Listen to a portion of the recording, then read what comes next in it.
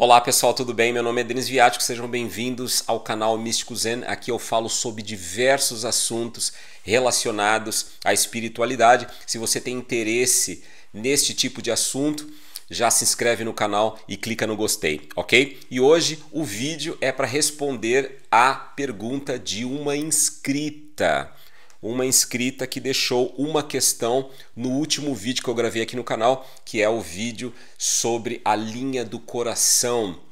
Se você ainda não viu este vídeo, eu vou deixar o link da lista toda com os vídeos todos sobre este tema de leitura das mãos aqui embaixo na descrição do vídeo, ok? E agora a mensagem da inscrita, a inscrita se chama Ana Paula Neri e ela escreveu o seguinte: ah, na hora que estava ficando interessante, você parou de falar. Minha linha do coração é quase longa, curvada para cima nas duas mãos e bifurcada no final. Quero saber o que significa. Ana Paula Neri, muito obrigado pela sua questão, pela sua pergunta. Pessoal, antes de responder a questão da Ana Paula, e sem querer ser chato, não é que eu quero ser chato, é, eu quero é que vocês sejam bons alunos de leitura das mãos. E é por isso que eu insisto nisto. Se uma pessoa disser que ah, você tem a linha do coração desta forma, então isso significa X, isso significa Y, não é verdade. Por que não é verdade? Porque não é uma resposta completa. Por que não é uma resposta completa? Porque a pessoa não analisou outras linhas, não cruzou a informação desta determinada linha com outras linhas, com a linha da cabeça, com a linha do coração, com o formato da mão da pessoa, com os dedos. Entendem isso? É a mesma coisa o seguinte, olha, imagina o seguinte, imagina você que está assistindo o vídeo, imagina que alguém chegue e diga que todas as pessoas que são do seu signo, que têm o mesmo signo que você, são todas iguais. Ok? São todas iguais, agem da mesma forma, é, sentem da, mes da mesma forma, se comportam da mesma forma. Imagina que uma pessoa diga que todas as pessoas de Sagitário são iguais, todas as pessoas de Touro são iguais, todas as pessoas de Escorpião são iguais. Parou para pensar nisso? Não é verdade. Não é verdade por quê? você deve conhecer uma pessoa do seu signo, não é? Que é totalmente diferente de você, que é muito diferente de você, não é? Por quê? Porque talvez tenha outro ascendente, a lua está num posicionamento diferente, a pessoa nasceu, nasceu num horário diferente, talvez num, numa localidade diferente. Existem muitas condicionantes que vão fazer esta pessoa, que tem o mesmo signo que o seu, ser totalmente diferente. Então, o mesmo vale para as linhas das mãos e para tudo que envolve a leitura das mãos, ok? Então, não é querer ser chato, é querer que vocês sejam bons alunos, ok? Tudo bem, pessoal? Então vamos lá responder a questão da Ana Paula Neri. Então a Ana Paula, ela disse o seguinte: ela disse que ela tem uma linha do coração que tem um bom comprimento, portanto é uma linha longa, curvada para cima e é bifurcada no final. Então, vou falar de forma geral, porque não tem como cruzar com outros dados. Então, de forma geral, pessoal, uma pessoa que tem uma linha como a linha que a Ana Paula Neri eh, descreveu, ela é uma pessoa que ela é capaz de abrir mão de qualquer coisa por amor, é uma pessoa que é capaz de fazer qualquer coisa por amor, é uma pessoa que os sentimentos desta pessoa são sinceros, mas é uma pessoa que olha de forma otimista para os relacionamentos, é uma pessoa que tem uma mente aberta, ok? Quando vocês pensarem em bifurcação no, na linha do coração, pensem sempre em abertura, pensem sempre nisso. Bifurcação é isto, ok? Então, pessoa com a mente aberta, pessoa capaz de abrir mão de qualquer coisa por um amor verdadeiro, ok? Isto é bifurcação. Mais que eu posso dizer, ah, pessoa é, que é emocionalmente equilibrada, uma pessoa que tem a linha do coração é, longa, bifurcada, voltada para cima, ela é uma pessoa que é emocionalmente equilibrada. Vamos pegar nessa história do emocionalmente equilibrada. Tudo bem? Ah, Denis, então você está dizendo que eu, por exemplo, eu tenho essa linha desse jeito que o Denis está dizendo. Então, eu sou uma pessoa emocionalmente equilibrada e todas as pessoas que tiverem a linha desta forma, com este desenho, vão ser pessoas emocionalmente equilibradas? Claro que não! Claro que não! Não, por quê? Porque existem condicionantes. Ah, não, Denis, agora você vai ter que explicar. Mas eu vou explicar. Fica aí, fica aí esperando que eu, eu vou explicar. Calma aí. Então, é assim: a linha do, do, do coração ou a linha do amor ah, tem a ver, entre outras coisas, tem a ver com, com, com as emoções, tem a ver com os relacionamentos, com o amor, tem a ver inclusive com o próprio órgão coração e com os pulmões, ok?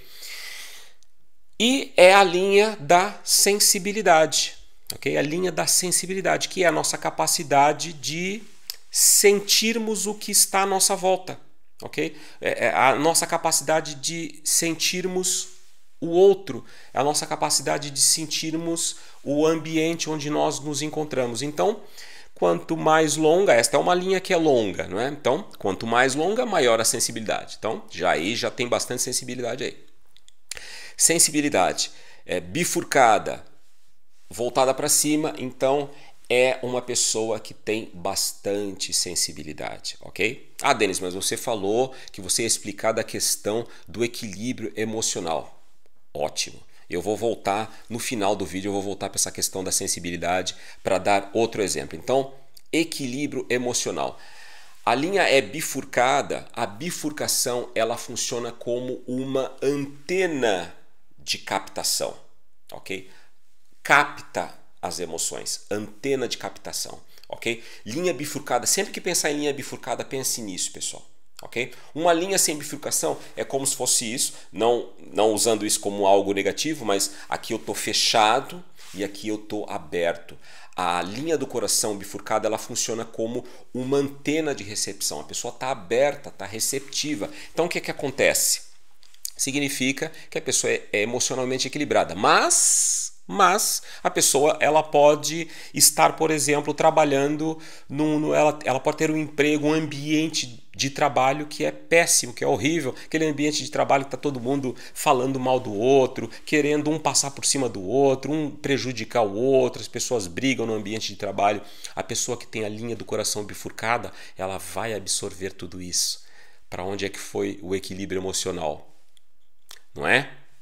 Tudo bem? Outro exemplo, imagina que não é num, não é num ambiente de trabalho, é no, no, no, lar da pessoa. Imagina que dentro da casa da pessoa ela conviva com pessoas negativas, ou então que é, é ela tem um mau ambiente dentro da casa dela, até as pessoas estão sempre brigando, estão sempre discutindo, não é?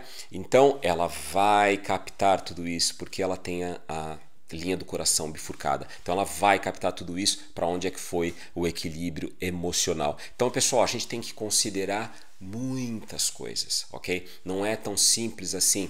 Outro exemplo que eu podia dar em questão ao, a, ao equilíbrio emo, emocional é a pessoa ela estar vivendo algo que ela não quer viver. Por exemplo, ela está no emprego que ela não quer estar vai passa o fim de semana e vai, vai se aproximando a segunda-feira, a pessoa já começa a se sentir mal, porque ela sabe que na segunda-feira de manhã, no dia seguinte de manhã, ela tem que estar tá lá no emprego. Então, tchau, equilíbrio emocional. Tchau, não tem equilíbrio emocional. Então ela está viver algo que ela não quer viver, ou então ela pode estar numa relação que ela já não queira estar ok? Então o, o, o, casamento já não tá bom, o namoro já não tá bom, a pessoa já não se sente bem dentro daquilo, ela já não quer mais estar lá, ou ela já não quer mais estar com esta pessoa. Vai captar tudo isso e bye bye equilíbrio emocional. Entende, pessoal? Tem que, tem que, tem que cruzar todas as informações. Tudo bem?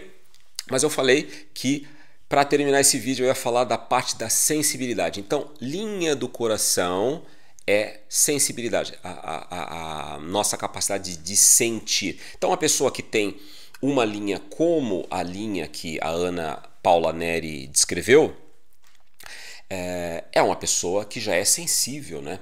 Agora imagine o seguinte, imagine o seguinte, imagine que esta linha, tal como a Ana Paula Neri descreveu, ela está uh, numa mão de água. Numa mão de água. Se você ainda não viu os outros vídeos aqui do canal, tem um vídeo que eu explico como é que você analisa é, ou identifica o seu tipo de mão, ok? E tem um outro vídeo onde eu mostro imagens de exemplos, porque eu gravei o vídeo e não mostrei imagens de exemplos. Então são dois vídeos que falam de tipos de mãos. Porque tem um vídeo onde eu explico e falo das características de cada tipo de mão e depois Uh, tem um outro vídeo que eu mostro imagens para a pessoa fazer comparação, comparações, ok? Uh, então, muito basicamente é assim, este vídeo não é sobre isso, esse vídeo é para responder a questão da inscrita, mas é assim, basicamente existem quatro tipos de mãos. Uma pessoa pode ter uma mão larga com os dedos compridos, larga com os dedos compridos, é uma mão de ar, do elemento ar.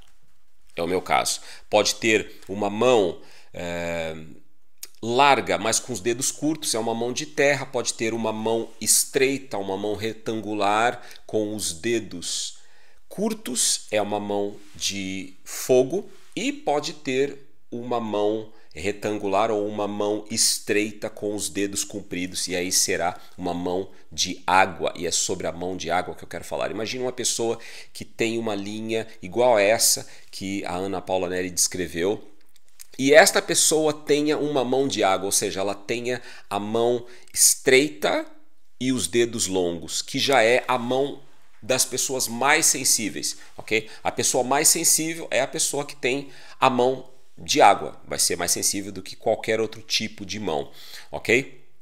Então, esta pessoa, ah, antes de eu, de eu, de eu, de eu, de eu, explicar isso e terminar, até quando a gente fala de tipo de mão. Ah, então a mão, a mão larga com os dedos, com os dedos compridos são é uma mão de ar e tal, não sei o que. Ah, então a minha mão é ar, a minha mão é fogo. Não é tão preto no branco assim, porque uma pessoa ela pode ter uh, dois tipos. Uma mão pode ter, uh, pode ser a combinação de dois tipos, é o que nós chamamos de mão mista. Então a pessoa ela não consegue, não é tão fácil ela identificar-se.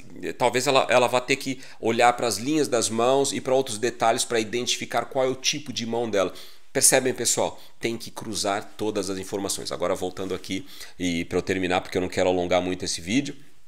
Uh, a pessoa ela tem essas características todas na linha do coração, como Ana Paula Neri falou, e ela tem a mão de água, tem uma mão que é estreita e os dedos são compridos, ok? Então esta pessoa ela vai ser muito sensível, ela vai ter uma capacidade psíquica muito grande, é capaz, é bastante provável que essa pessoa seja daquelas pessoas que sonhe com algo que vai acontecer no futuro, é, sonhe com alguma alguma solução para a vida dela, é, uma pessoa que tenha desenvolvido vidência, tenha desenvolvido clarividência ou algum outro tipo de mediunidade, é bastante possível que essa pessoa tenha uma intuição muito forte. Por quê? Porque é a conjunção desses dois elementos. Então tem a linha na mão de água, ok? Tudo bem, pessoal?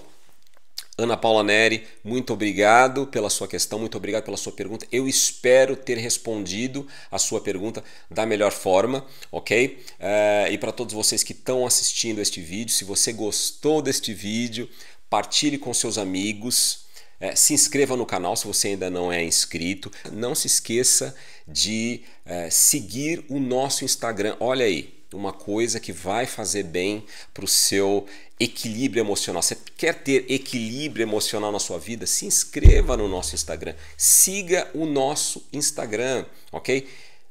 Instagram Místico Zen. Chega lá no Instagram, escreva arroba Místico Zen e você vai ver que você vai se tornar uma pessoa emocionalmente equilibrada. Tudo bem, pessoal? Então, se inscreva no canal, clique no gostei. Olha, outra coisa, faz bem pro dedo clicar no gostei, faz bem até para a linha do coração. Clica aí no gostei e a gente se vê no próximo vídeo. Um abraço e até a próxima.